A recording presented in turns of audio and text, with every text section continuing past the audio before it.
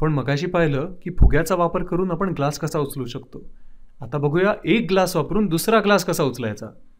याकरता पाहिजेत दोन काचेचे ग्लास टॉयलेट पेपर एक मेणबत्ती व काड्यापेटी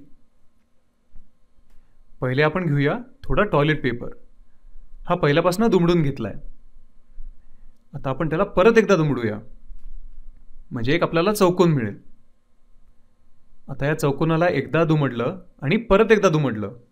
म्हणजे त्याचा एक चतुर्थांश बनवला आपण. आणि मग एक कोपरा कापून घेतला. ज्यामुळे जर का आपण आता कागद उलगडून घेतला तर त्याच्या मध्यभागी आपल्याला एक गोल मिळेल.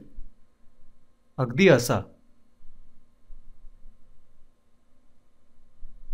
आता आपण मेणबत्ती एका ग्लासमध्ये ठेवून देऊया.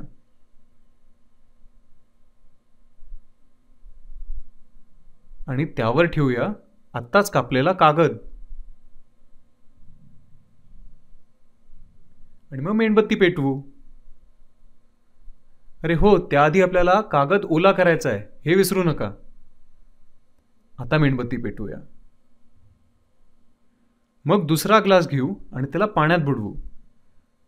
पाण्यामुळे एक सील तयार होईल. हा ग्लास पहिल्या ग्लासच्यावर ठेवूया.